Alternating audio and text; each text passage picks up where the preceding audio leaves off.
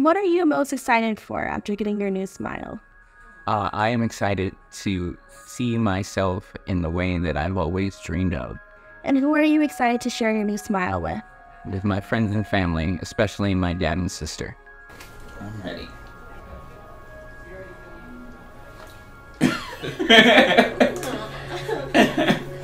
there I am. That's awesome. I am I'm at a loss for words. This is even better than I expected it to be.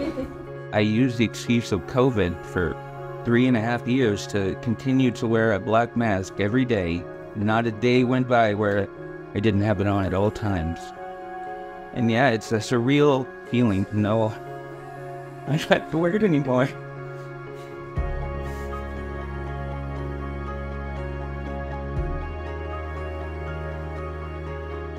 I'm the person I knew I was.